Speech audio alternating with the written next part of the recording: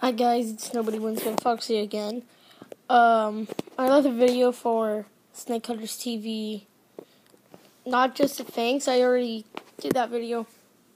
Um, I would also like to ask them, this is the video, I would like to ask them, how do they catch the snakes?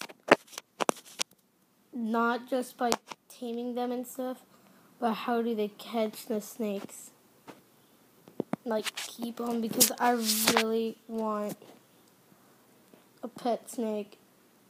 And I know my parents might not let me, but how?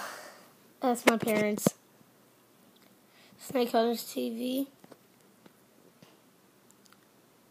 Thank you.